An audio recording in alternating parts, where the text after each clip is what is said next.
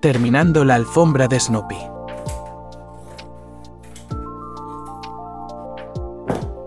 Pegamos el restante de tela por dentro de la alfombra.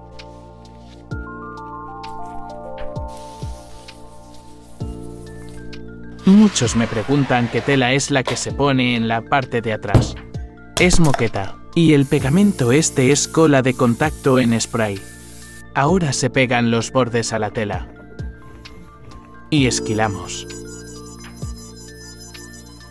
Y para terminar perfilar líneas,